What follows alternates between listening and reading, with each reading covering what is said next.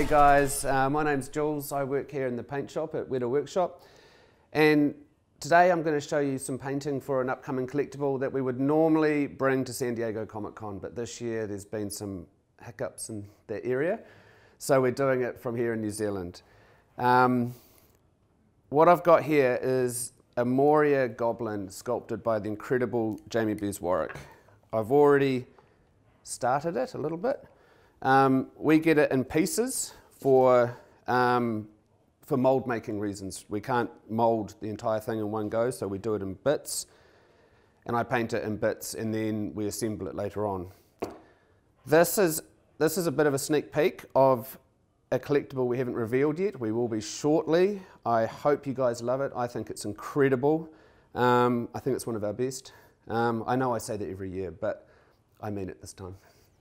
Um, so what, what I've done is I've, I've done what we call the blocking in of the colours. So all of the main colour areas have just got a flat colour on them. So the metal's just a gunmetal, the fabric's just the base red, the brown, so on and so on. The skin I've kind of finished. Um, I always like to start with the skin. Um, it's, I always use an airbrush, use a lot of overspray. So if I do the skin first, I don't have to worry about you know missing areas that are going to get covered in, in a flat colour. Um, it's also kind of the most my favourite bit to do, so I'm usually in a hurry to do it. Um, so where are we? Skin's done, block colours are done. Now I've got to make these goblins, or orcs, I think it's a bit interchangeable in this case. Um, these guys are filthy. They are absolutely wretched, horrible, scummy characters. So they haven't had a bath, they haven't washed their clothes in God knows how long. So I have to make this guy dirty. Really, really, really dirty. So to do that, after we'll start with the armor, which is horrible rusty metal. At the moment, I've just put on a, a gunmetal color. This is this one's mostly acrylic paint. Um, I'll use a mixture of oil paints, enamels, and acrylic. This one, this one's mostly acrylic. And what I'm going to do now is I have a, a fairly generic Weta Workshop age wash, which is an acrylic paint that's been thinned out a lot, watered down a lot. And it's a mixture of burnt umber, which is a, a dark brown, and black. And the brown the brown brings a warmth to it and it's sort of an earthy tone, and the black just brings drama in contrast. So I'm giving it a stir because it's kind of old. The, the paint is settled. And then what we're going to do is just using a brush, I'm going to cover this entire model except for the skin in this horrible dirty age wash. So this one, this is quite brown. And we'll probably do several layers of this. And I'm just using quite a large brush and super liberally applying the paint. Um, not being too fussy. Like I said, these, these Moria creatures are filthy, so we don't have to be too fussy. The sort of more sloppy and gross it is, um, it'll look, it'll be more accurate, you know. It'll, we want it to be organic and natural looking.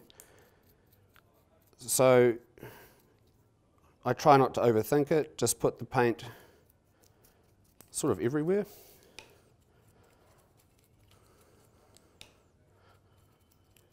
And what this will do, what we want we want the, this wash to go into all of the recesses. So all the little cracks and wrinkles in the leather. We want it to settle in all the, the sort of hard to reach places. You know, like I always think, you know, if you, if you wipe something in the, in the real world, if you, if you give something a wipe, like when you're dusting your house, if you're like me, you're usually a bit lazy on it. So the, the top surfaces always get cleaned, but all the little cracks and recesses never really do. And that's what we want to try and emulate here. So this is just a rag. and I'm just dabbing that wash off the top surfaces.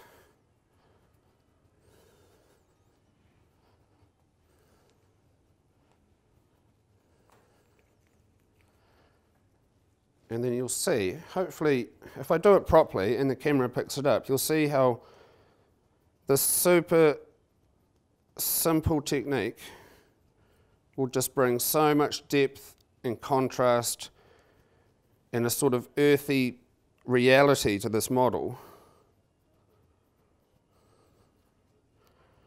And if we do this several times, hopefully it'll look um, pretty good if I do my job properly.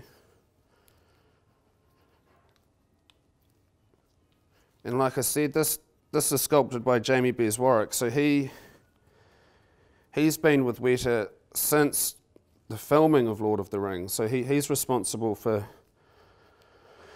for the sculpture work of some of our most famous creations. So it's, I'm always quite happy when I get a Jamie sculpture to paint. Um, he's a bit clever. And now we get a, so there's bits that I can't quite get to with the rag, so I just get a, a cleaner brush and dab it. So I'm always thinking with paint, we don't, if it, if it looks like a paint job, I feel like it's a bad paint job. So I always want things to look as, as organic and as natural and as random as I can make them. So, you know, you, uh, you don't want to see a brush mark. Um, you certainly don't want to see drips. That if this wash pulls in one area, the gravity will make it drip, and then we lose the illusion. The, the scale is, is ruined. Um, this is a 1 6th scale figure. So if if he was standing up, he'd be about 12 inches. Oh, you guys know what we make, eh?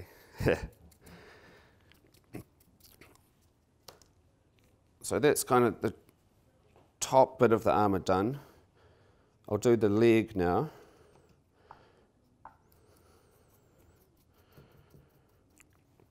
And again, this is just watered down acrylic paint that you can buy from any hobby shop or model shop probably even supermarkets really. It's just very, very your most common. It's not fancy or expensive. It's just acrylic paint in a tube.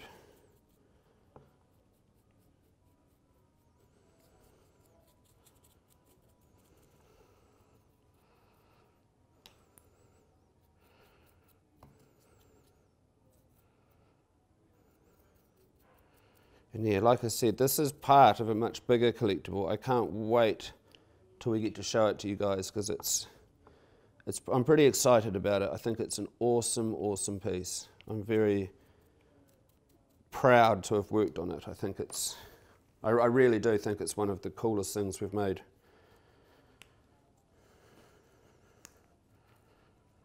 So again, oh, whoopsie. I'll have to send that to the model shop to get fixed.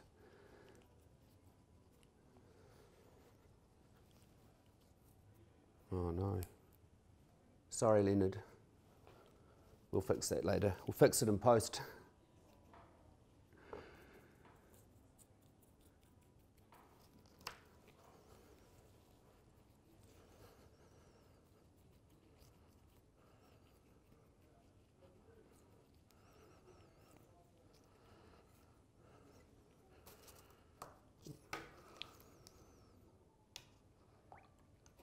Again, I have to keep stirring the paint because it settles.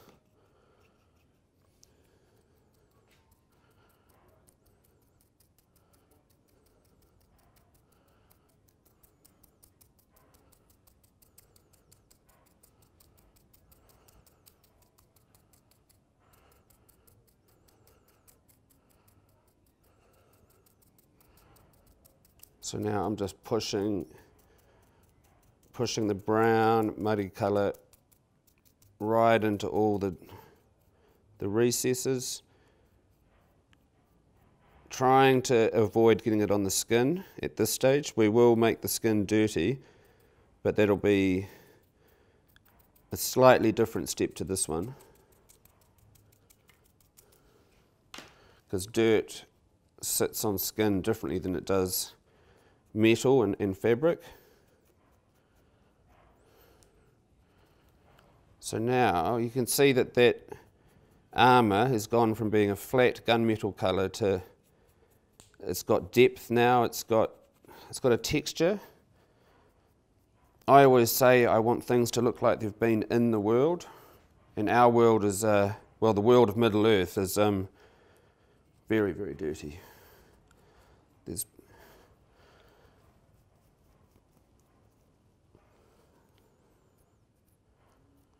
So now I'm just, I'm just rubbing the paint back so that the high areas are sort of going back to their base colour, but the recesses have now got what looks like dirt and the beginnings of rust. We'll be putting rust on later on. Now, we'll put that guy back on his peg, let him dry a bit, and we'll move on where are we? The? Ah. We'll let him that bit dry. We'll move on and we'll do the same thing to all the others.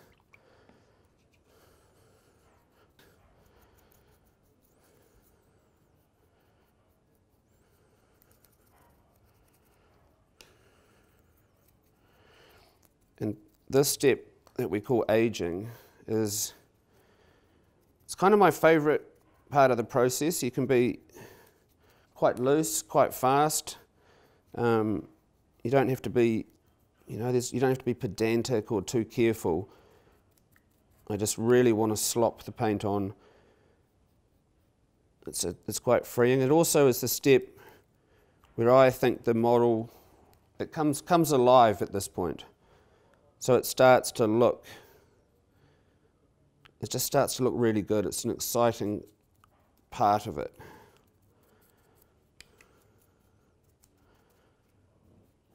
And I love, I love the orcs and the goblins because they are so dirty.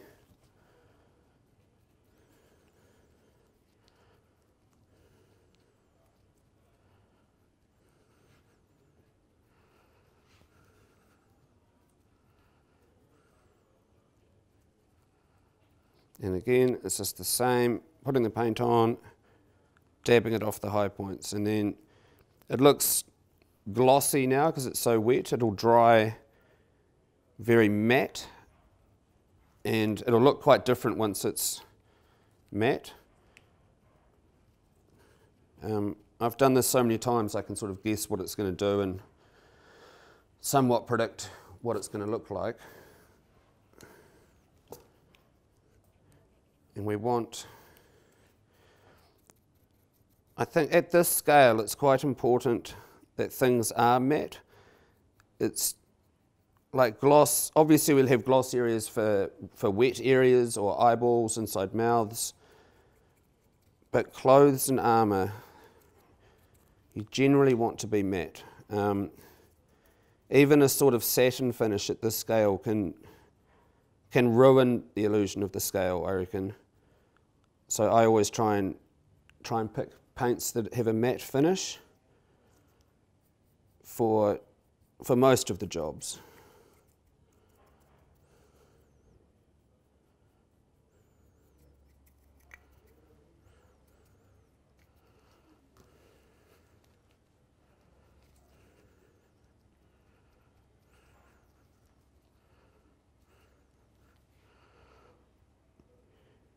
And because I'm usually in a hurry, I often use a hair dryer to speed up the drying process. We might do that later. It's really cold here in New Zealand at the moment, so the paint takes a while to dry. The head we won't do yet. The gloves and the sword we will.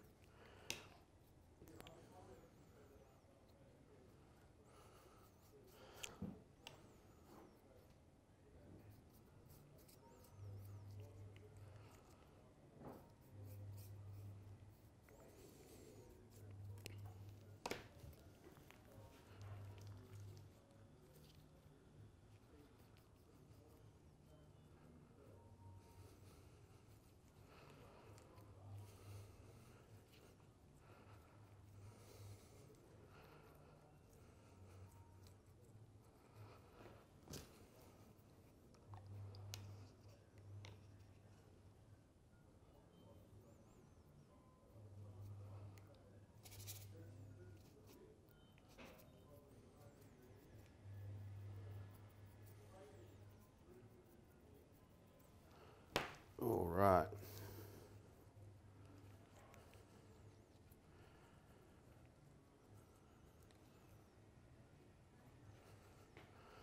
Leave that one to settle. Oh, that's a bit.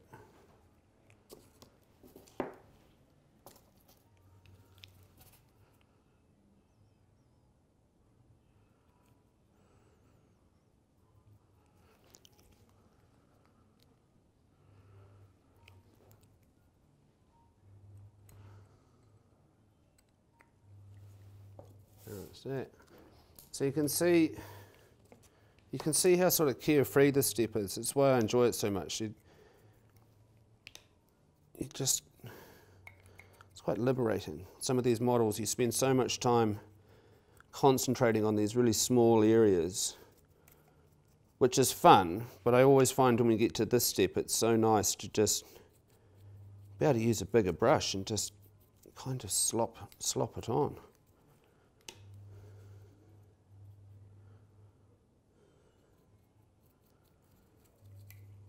And I find with this aging, the more the more I kind of don't think about what I'm doing, the, the more real it looks in a way, the more organic it looks. And just letting gravity do a lot of the work for me, just let the paint sort of more or less go where it wants to go,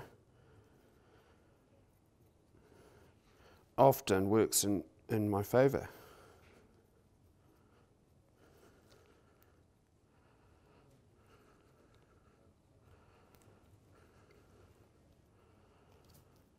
And because it's acrylic paint, it's not dangerous. I'm just wearing gloves to um, keep my hands clean, but there's no toxicity in this paint.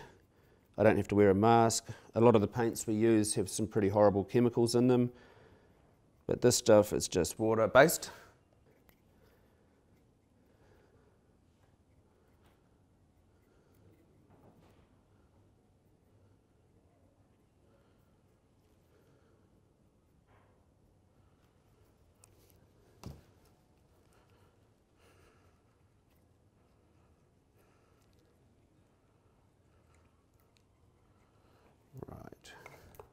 How's this He dry?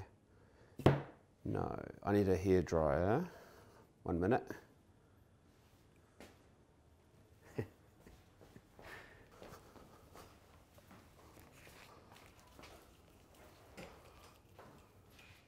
um, I'm just going to use trusty hair dryer to hurry up the drying process.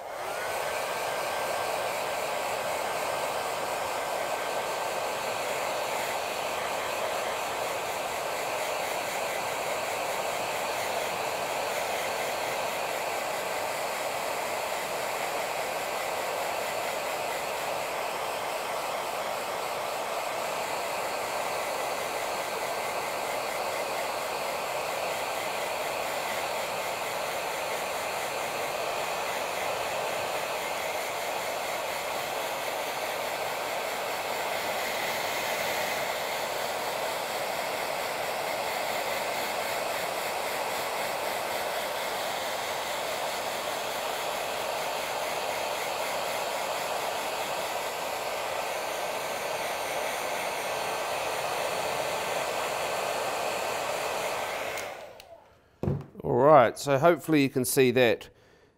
Now that this paint's dried, we've kind of got the beginnings of dirt and a sort of rust patina to the metal. So it looks, it looks old, it looks weathered, it looks like it's been in battle.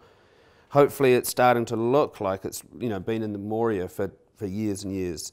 Um, and I'm just going to keep doing this. I'm, i need some black as the next step. This was very brown. I'm just going to run away and get a black and I'm just going to build up layers of filth and dirt and rust until, until it looks like what we saw in the film.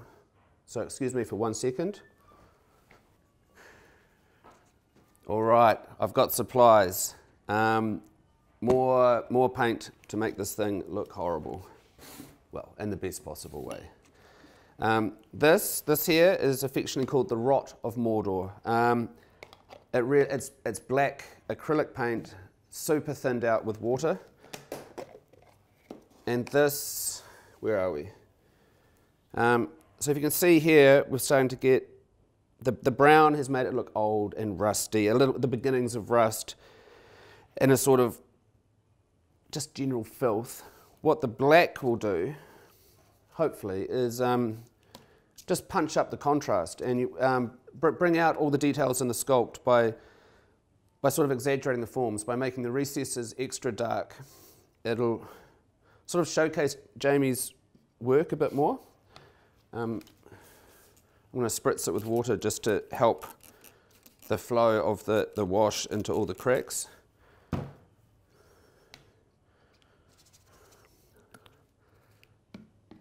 And water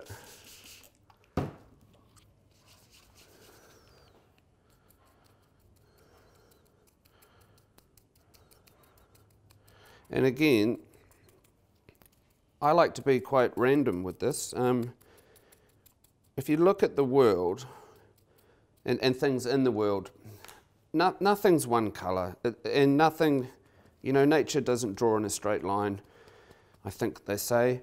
Um, so I try and I try and be random with it. The, the, the more random and uneven things are, often the more realistic they end up looking. Um, if there's a super interesting part of the model or a bit I just really love, obviously we'll try and you know pull that out. Um, also, all these pieces too, are, obviously they're informed by Lord of the Rings, our source material. Um, so I have, you know, I have a huge amount of reference that I can refer to. That's one of the fantastic things about working here at Weta Workshop is the avail availability of all the reference. I mean, the actual costume from the, one of the actors that portrayed this character is, is in the corridor just behind camera. So I can, I can go and look at the actual screen used costume or one of them. Um, so the reference, it doesn't get much better than that.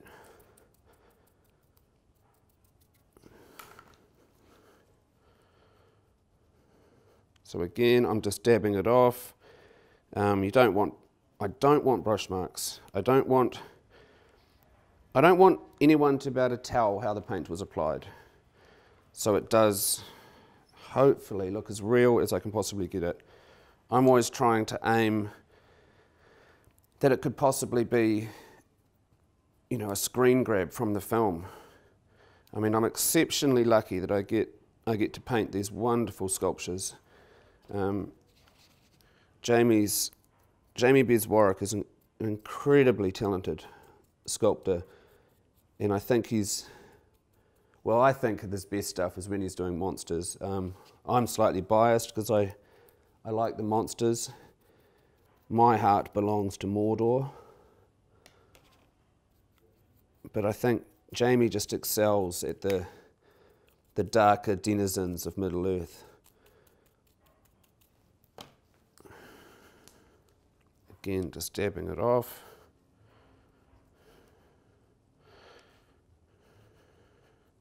And you can see, you know, I'm not being particularly precious. I'm not paying, I mean, I'm, I'm paying attention to what I'm doing, but it is this bit, the sort of more haphazard and random I can be, the better it'll look, the more, well, hopefully, the more it'll look like the, what we saw in the film. Again, I'm just going to hair dry it to speed up the drying process.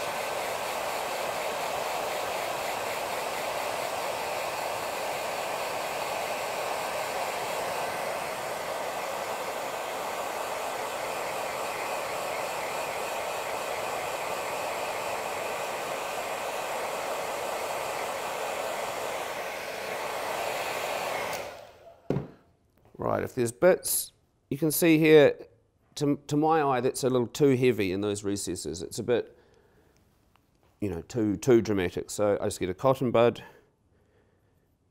I always have cotton buds on my painting desk and just try and dab out some of that excess paint. Because um, you don't, although you want the paint in the recesses, but you don't want it pooling because that won't look, it won't look natural.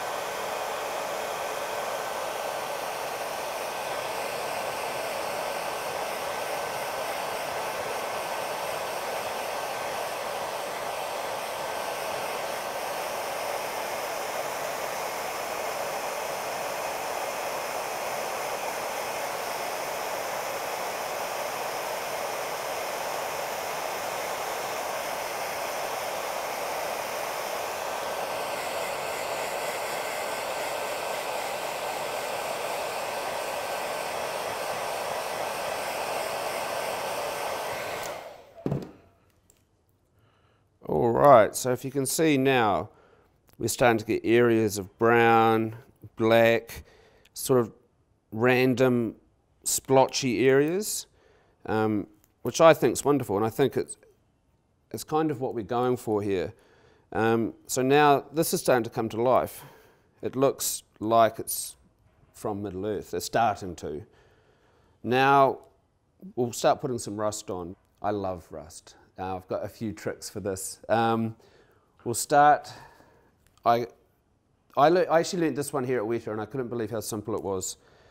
I think I'd overcomplicated things, and when I came to this place, I saw people using this paint, and it's straight out of the tube. It's a burnt sienna, which is a sort of reddy brown colour. I'm just going to put some there. And I use, I do this all the time, and it's just so, so simple. Get a, br a smaller brush, pick an area of the armour that you want rust. And rust, like I spend a huge amount of time just looking at the world, seeing how things, things often when you really look at them, they're not how I thought they might have been. So rust is again, it's always, or it's often in the recesses, like it's on the surface, but it'll it'll sink into all the cracks. So I'll get some of this paint. It's just straight out of the tube, and I'll push it in with the brush to an area. Again, being pretty loose, not being too precious. Then with a cotton bud.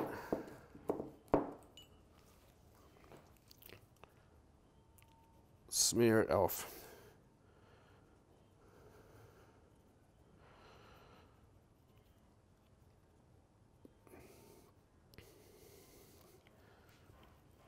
Water. This is just a, a spritzer bottle with water in it.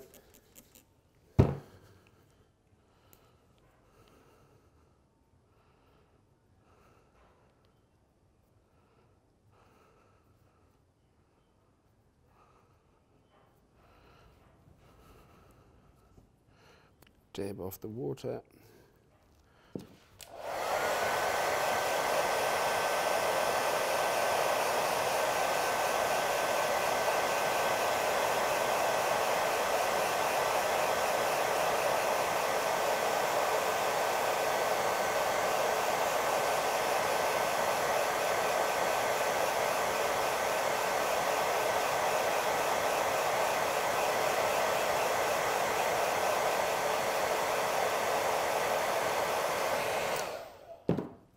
So now, hopefully you can see on these two panels, we've got the beginnings of rust starting to appear. I'm going to do this. God, I, this is really my favorite bit. I could spend, well, I do spend huge amounts of time doing this bit.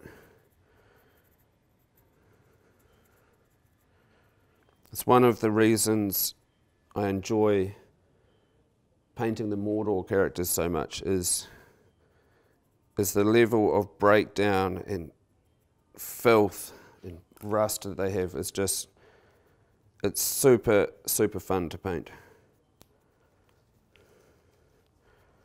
Like all of the different every model and every character you know has, has its challenges and they're fun in different ways.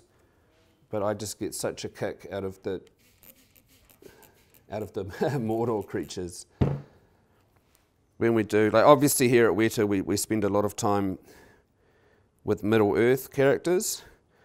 Um, so you end up becoming a bit of an expert on them all and, and, quite familiar with all the different races and their costumes and armors and and they're all different. Like the elves, you know, the elves are very clean and quite fanciful. So that's a very different style of painting. It's a different approach. Um, has its has its own challenges and enjoyments and stresses. But for me, the orcs and trolls, all the bad guys, they're way cooler.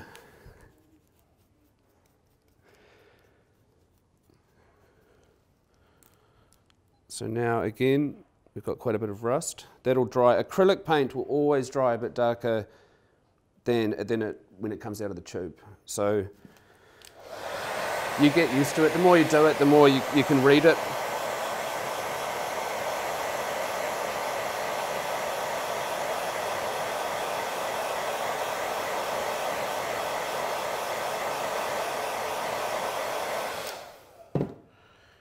And there's no, the, the steps I'm doing this, there isn't, you know, I'll go, I'll probably go back and put more of the brown on, like each step will remove bits, it'll leave bits.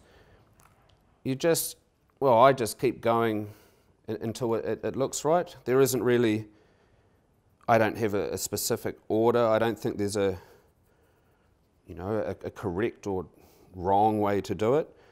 You just keep putting the colours on, moving them around until the thing starts looking like it should. But honestly, these, these tricks that, that I'm doing now,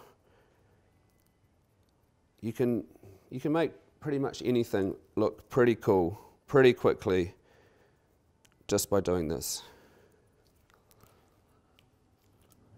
And it's not, it's, you know, it's not difficult, it's not tricky. The paint is the paint's really cheap. It's not expensive. Um, I mean, some paints can be crazy expensive, but this stuff, this stuff isn't. It's accessible.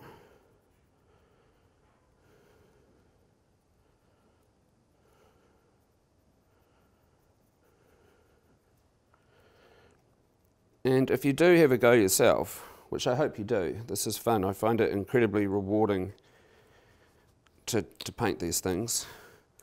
Um, if you do ever go yourself, just don't, don't be precious about it. Just try. Just rip into it, have a go, and don't worry. There's, I don't really think, I don't think you can mess it up. Every time you make a mistake, you're learning. So, no big deal. And the more you do it, the easier it becomes. And the more, the more you do it, the more tricks you learn.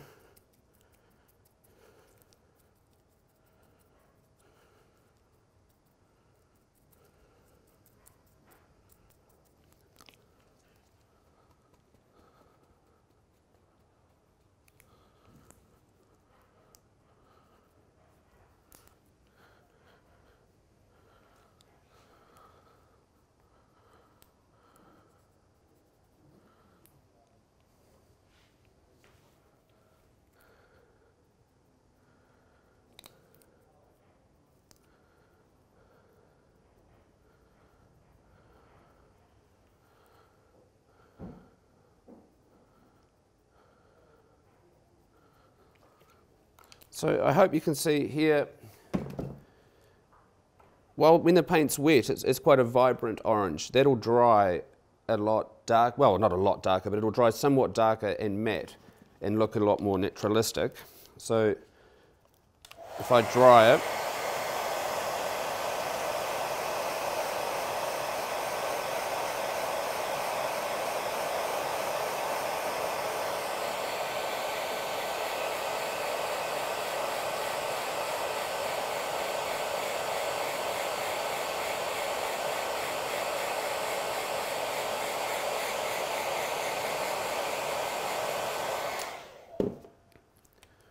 So now I've focused on this, this chest plate area. You can see the leg area here where it, it's basically a flat colour. I put one wash on there compared to this area, which is now, you know, it's, just, it's way more interesting. It's, it's layered, you can see the sculpt better, it, it, it's got a lot of different, well, starting to have a lot of different things happen. It's hopefully looking a lot more real than that. And the only thing I've done is what I've been showing you, just acrylic washes. I'm going to keep going with this. It's got quite a few more steps to go before I get to show you the whole thing later on in the week. I, I really can't wait for you guys to see it. It's an awesome piece. Everyone who worked on it's really proud of it. I hope you guys like it. And I hope you're safe out there. Hopefully we'll see you next year in San Diego. Bye.